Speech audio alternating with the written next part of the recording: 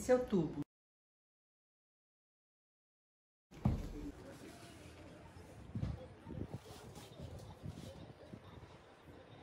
Essa é a posição.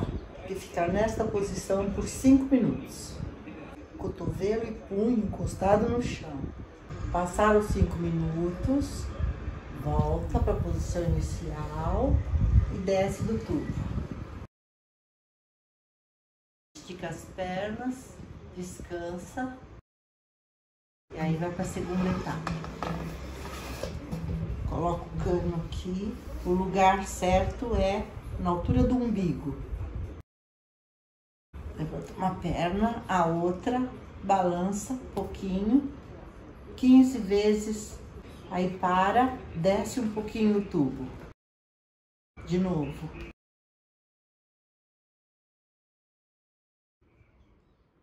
Desce outra vez. Vai descendo de pouquinho em pouquinho até ela sair lá embaixo.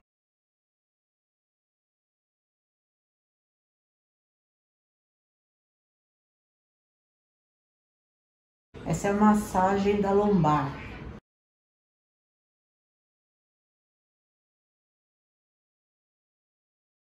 Tem que ser 15 vezes, tá?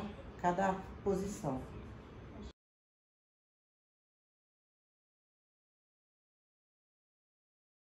Pronto, chegou lá embaixo, baixa as pernas e solta.